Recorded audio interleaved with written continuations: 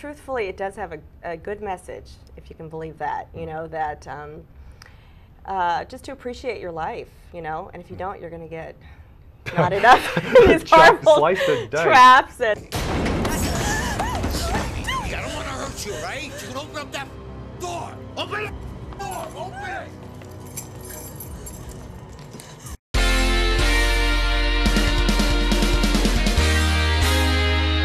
Today, actress Brooke Adams is here. She made a name for herself as a movie star in Days of Heaven with Richard Gere and Invasion of the Body Snatchers.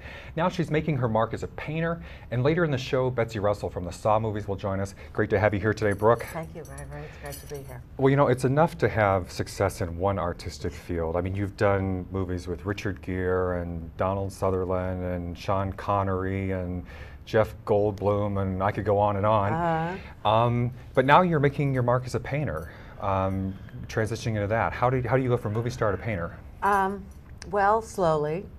I was uh, I was uh, becoming a mother. I had had a, a, a daughter, and I just needed to get I, my second daughter. I needed to get out of the house, mm. and acting wasn't. Um, it was it was still. You can have too much time around the house, can't you? Oh boy. oh yeah. Oh, especially with my second daughter. She was a handful. Anyway, um, movies were kind of, I was getting older, and, and movies are really sort of for the young, I guess. And uh, I just said, I'm not going to do it anymore. And I thought people would clamor and beg for me to stay in the business, but they didn't. So I started taking an uh, art, art painting class.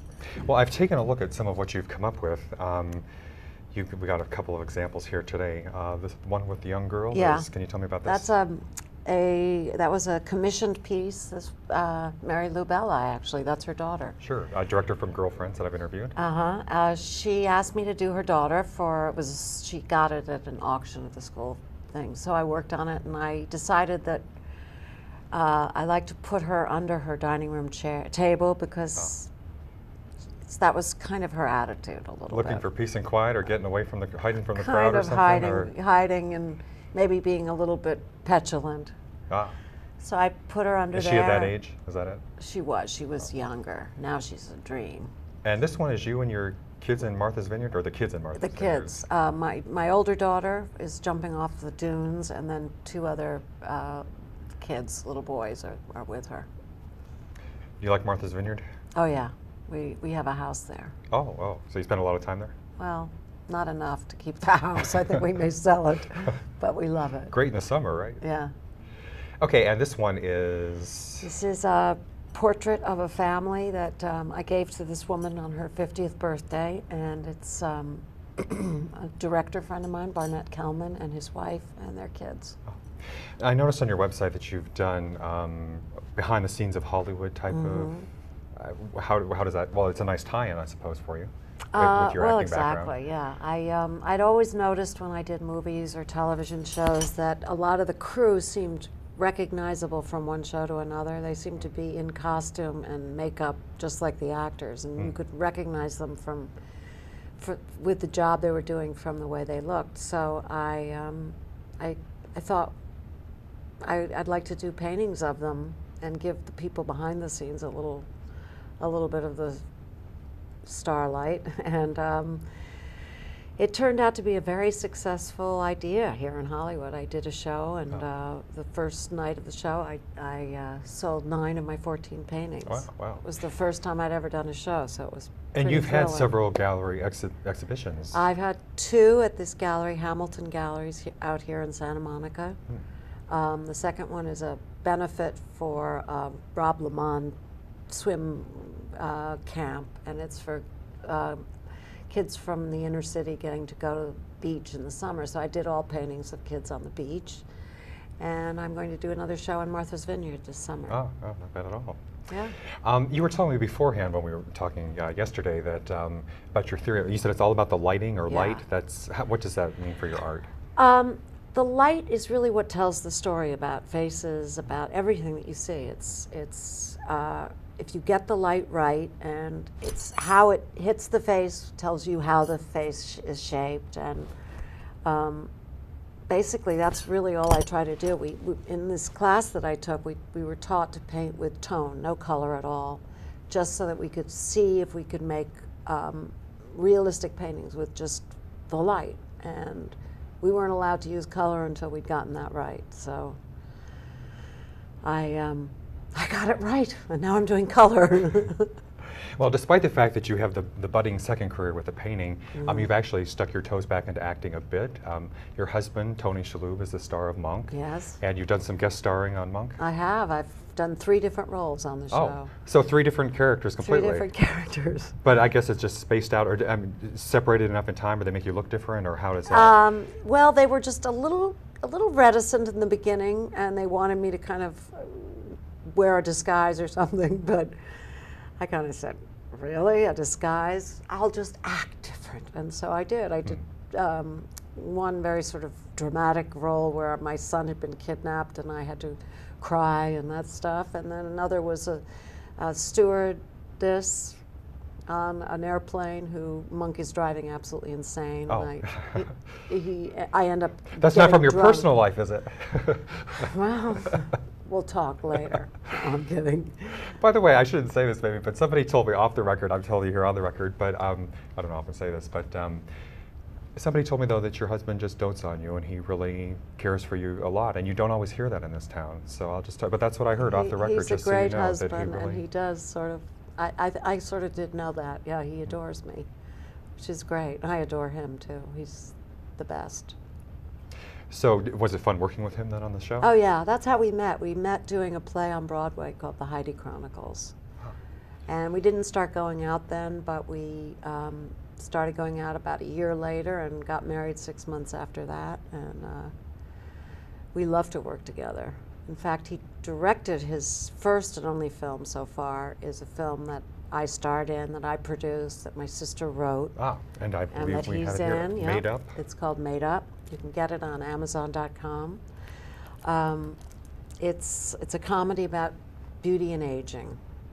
Oh, Yeah. So it's it's but it's very funny, and I know a lot of women. It's a real. I guess it's a chick flick in a way, but young girls and not so young women uh, really like this movie. It speaks to now does it relate to Hollywood per se, or is it more life in general? life or- in general. It's it's every woman who's toying with the idea of having facelifts and Mm.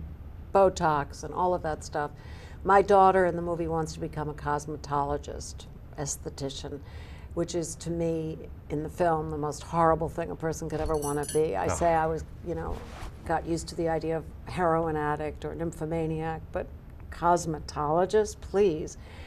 But she decides she really wants to do a makeover on me, and I'm Mm. very reticent, but I do it, and I'm thrilled with how I look. She does a fake facelift. Oh, oh. You know those things that people wear sometimes? I don't know if you know this, but actually, old movie stars before facelifts were so popular wore these things that held their face up and that went around with elastics, and you put a wig over it, and? Wow. suddenly you'd look beautiful. So I do These days, they just they can use soft lenses for one thing, right? Yeah. well, they always could do that. I think they just put stockings over them or something. and let alone all the other stuff. Well, I haven't seen this. I've seen some of your work, like Days of Heaven, which I thought Uh-huh. was just great. But um, what, what's your take on that? What do you? Any thoughts on? I mean, since you did a movie about it, um, pro or con about you know? Facelifts and things? Yeah. Well, my character is very con. I'm not con at all. I think um, women derive a lot of their power from their looks. If- Too much? I mean, in Hollywood, is there too much concentration on it, or? Oh, definitely. There's way too much concentration in Hollywood, but we're exporting it, and so the rest of the world seems to be getting catching up pretty quickly. But I think that there is a real bottom line truth to the fact that women do get their power from the, the their beauty. Men get it from money, and uh, there's no reason why a woman shouldn't try to look as beautiful as she can. I, those of us who want to just do it au natural, that's to be commended as well. But um, I, I don't have any any judgment. I don't make any judgment on that. Whatever you want to do is fine. All right. well, and I mentioned Days of Heaven, um, uh, which I lost last night. And again, as I told you before, and it reminded me a bit of Atonement, although it came Uh-huh. first, Uh-huh. in the sense of, you know, a, a very well done love story, but just kind of a de- depressing ending in effect, or I mean, you know, sad. Yeah. Um, but uh, What was it like working with Richard Gere? Because that was your first film for both of you, right? It was, it was. Um, he had been a friend of mine already, so Hmm. we were pretty comfortable with each other. And uh, we had the, it was a triangle situation with Sam Shepard, who's Hmm. pretty dishy too. so I, there I was in between these Not a bad gig, huh? No, not a bad gig. And then I noticed at the end, so so she was, well, involved with Richard Gere, Sam Shepard, and then it looked like at the end you went off with a soldier. I don't think I went off with him. I was pleased that they were still looking Ah, at me, is yeah. all. After both Richard and Sam were killed in the movie. Well, thank you very much for being here, and I wish you the Thank best of luck with Thank your you. paintings. Thank you, Gregory. We'll be right back.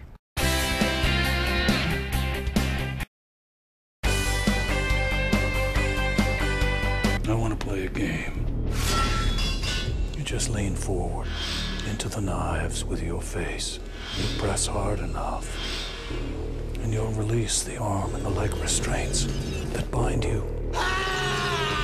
Press hard, though. Live or die, Cecil. Make your choice. And we are back. Joining me now is Betsy Russell from the Saw movies. Pleasure to have you here today, Betsy. Nice to meet you. Now, I just want to say, I have to, I told you this beforehand, I was a wimp. You know, I went to see the first Saw, and it got too much. I couldn't handle the, Right. you know, I was, Too much blood. yeah, I saw Hostel 1 and 2, and then after that I said, okay, I think I've seen enough of the Hostel movies. But because I knew I was going to be interviewing you, I made a point of seeing Saw 4. Good. And um, although I had a problem with the DVD, and I still want to know what the ending is, but. Uh, but so, so what are your take on it? But I know there's a, I, but I was happy to have you here because I know that there's a, a cult following Yeah. for those Mhm. already. So what, what's your take on that? I mean, on the one hand, you Um, know, there, there's the violence, but yet people love it. Yeah, I mean, truthfully, it does have a, a good message, if you can believe that. You know that um, uh, just to appreciate your life, you know, and if you don't, you're going to get knotted up in these horrible slice and dice. traps and stuff. No, seriously though, I do like the message. Kind of like you know, appreciate what you've got going on, and uh, don't abuse it. Your time here on Earth. And so that part of it is good. The gory part, you know, if you really took out the gore and um, just kind of watched it without the blood and guts and stuff, it would really be a thriller. So I think it really is kind of an amazing story that they tell, and I'm really proud to be part of it. It's the number one horror franchise in history. Wow. And you're already working on Saw 5? We just finished. Just Yeah. finished. When, when will that be out? October, Halloween every year. Oh, okay. Well, perfect Yeah. timing. And you started out with a smaller part in Saw 3. Yes, I did. Um, the writers and producers were fans of mine, and they said, Mm. um, "Would you like to be in the movie?" And I said, "Sure." So they said, "Do you want to be a nurse, or do you want to play uh, Jigsaw's love interest?" And I said, "Hmm, that's a tough one. I think I'll play his love interest. That's the killer in the movie." So they, it was a flashback scene, about three seconds in Saw three, and then. Um, they had three groups of writers writing Saw 4, and they were going to pick one of the three different scripts. And one of the writers had me really heavy in the in the uh, script, and Oh. they picked that one. So I got lucky. I So got you get to be the, the wife or slash love interest of the Mhm, killer. exactly. Yeah. Now, and, and in 5, then you also continue in a pretty big way, I take it. Oh, you can't give away too much, I'm in five. Okay. I'm definitely you're, in You're in five. 5. Mhm. Okay. But he does have the part. Um, well, I, I, I for, you know, I remember the, the blood and a lot of, you know, from, from the first one. Yeah. But your part about the message does seem to be there in four, where they honestly try to make it kind of socially redeeming in a twisted kind of way, or you know, what I mean, not that Yeah. they're saying to emulate him, but even he is trying to mete out justice, sort of, Well, maybe. Well, there's a reason. There's a reason. reason to his madness, yeah. Mm. And if you've seen all of them, you know, I won't give it away in case people haven't seen it. They're going to run out and see it, especially Saw 4 that I was in. Um, but yeah, that he has a reason why he went crazy and why he puts people in these traps to, you know. Do you think now, now the one problem I wonder with this, or, or I mean, well, partly logistical, I guess, and even just on a different level. Um, I remember back to the days of like Nightmare on Elm Street, where it was really more the thriller. Well, of course, Freddy had the, you know, he did a lot of slicing and dicing.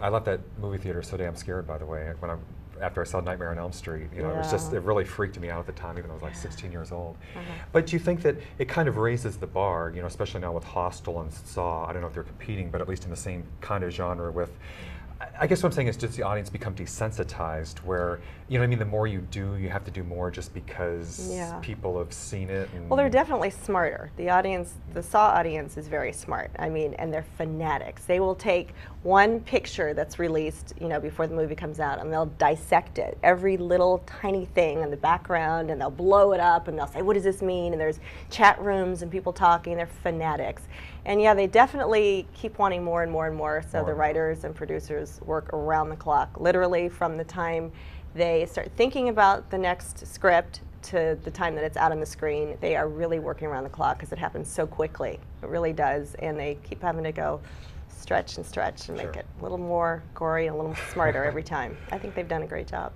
And I still have to, you know, I, I do still cringe when I watch those movies or I look away, you know. But do you think though that um, what was it fun? You know what I mean? Despite there's buckets of blood flying around, but is it just is it fun to make that kind of a movie? I mean, Um, or what's it like behind the scenes? You know. You know what? The Saw set, I have to say, is the most well-run, smoothly, you know, oiled machine of any set I've ever been on. And they just treat their actors so well, and they really know what they're doing. I mean, they they have done this five times, same crews, same place. Oh. Well, they've changed places in Toronto and stuff, but hmm. but it's really well run, and it's just a great set. I mean, Darren Bousman was the director for two, three, and four, hmm. and he's a fanatic. He's a savant. He's loud and crazy, and he's got his dog there, and the dog's yelling. You know, he's saying "Chance," that's his dog's name. "Chance is action," and people are screaming. They're crazy. And then the last director, who was the art director for two, three, and four, became the director, first-time director, Oh, David oh. Hackl, and he's he's also brilliant, but he's very calm and you know the set was completely different. So yeah, it's it's tons of fun and it's it's just really just an amazing set. Everybody's great at what they do. It must be some pretty elaborate makeup, or you know, or however they're CGI or whatever they're doing, or is that? I guess you're not probably in a lot of those scenes, at least for yourself, or do you see them filming them anyway, or you're around when I that's going on? see or- everything. or you see everything. Yeah, I see a lot. So, you know, we, we're checking out all the sets and we're there even on the days we're not filming sometimes just to check it out. And, you know, the extras are there just watching. I mean, it's really, I mean, you really do kind of feel like you're history in the making. I mean, it's pretty, it's really special franchise and it's just fun to watch everything be made. And you said the number one. Number one horror franchise in history. I have Wow. that memorized. And it started because it started out with what a fairly small budget, right? The original Saw. Yeah, they, they started it uh, for a million bucks. They A made it. bucks. Yeah, maybe a million two, something like that. And um, the first one I think grossed 30 million. I don't know. All I know is they 400 million worldwide for all of them so far. And uh, these ones, I think it, each one is a little bit more expensive, but they're still under 10, 10 Oh, million to really? make. Really? Yeah, so they're doing well. And I remember the spoof from um, Scary Movie. I think the one with wasn't Dr. Phil was in that. I think the spoof. Yeah, and, uh, yeah. so- It's been. I mean, they've done satire, they've done spoofs, everything, you know. I mean, it's just been Saw mania. So it's, I mean, people people write in and they say, you know, I want Betsy's jeans that she was wearing in the scene. How much? I'll pay 500, I'll pay 1000, whatever it takes Have they for been these selling jeans. stuff on eBay or something? Oh or- yeah, there's really? a whole website, yeah, for Saw paraphernalia. So I don't know, it's pretty cool. So you made your start um, what in, in the '80s in San Diego, right? Even in high school, you were acting. Yes, when I was very young, I think I saw myself. Uh, my mom or somebody videoed me, and I was like, "I look good. I want to be an actress."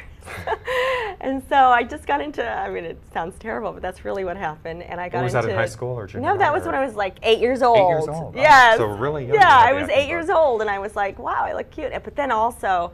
You know, I Love Lucy was my favorite TV show, and I was Oh. imitating her, mm. and I just loved to make everybody laugh. So you have the comedic side. I do that I've never really. I mean, I took. Um, Yeah, so it's interesting you have a horror film of all things. yeah, you well, know, I've done that. I've done a little bit of everything, but I took improv for about ten years when I Mm, first mm. moved to LA, and you know, Harvey Lembeck was a great improv teacher back then. I took from him, and and I just love comedy. And I've really never had a chance to show that side, but I would love to. That's my hope. And um, yeah, I just pursued, you know, lots of theater down in San Diego. And then when I was 16, I got a Pepsi commercial. Mm. Pepsi. And they kind of featured me, and I was on a horse. That's if you ever saw private school, you know that I do well on horses screen. So you were in the Pepsi commercial on the Screen. horse. I then- was. And what? Somebody saw you, or how did that? Well, the director, there's about five of us girls on a horse. It was my first time doing anything. And he kind of, you know, picked me and said, let's kind of feature her. I was like, wow, this is cool. Everyone's looking at me and I'm doing pretty well and this is like a lot of fun. And then I found out that I got to graduate high school early because I had enough credits. I'd worked on the school paper and I had so much fun doing it, but I got extra credits. The day after graduation, I was in LA. Wow. Yeah, I you did. wasted no time to. I didn't. The next day, I said, I'm a city girl. I want to pursue acting. And um, I got my first big break uh, like two years later in private school. Two years later. Yeah. I mean, I did some, you know, little episodic stuff and all that. But yeah. So you were known for. I mean, you did several. I mean, you had even now like a cult classic kind of thing with several of those movies. Uh, Yeah. Yeah, those little 80s movies have kind of um, made a little bit of a comeback, I guess. If you look at YouTube, I don't know, there's lots of trailers for them. So Oh, they've already got that. Yeah, I mean, it was it was great. It was fun. You know, in those days, you didn't really say, okay, I'm going to do a movie this week, and then I'm going to go be on a TV series next week, and then I'm going to cut an album. It was kind of like I just said I wanted to do movies, and I thought that was, you know, I thought I was doing these big movies, which in, in those days, you know, they kind of were big budget and stuff, and I was just having a blast all through my 20s, and then I I got married and got pregnant, and the next thing you know, I started having babies and decided it was a lot more fun to stay home with my kids Stay than home with the kids. you go pretend to be somebody else. We'll be right back.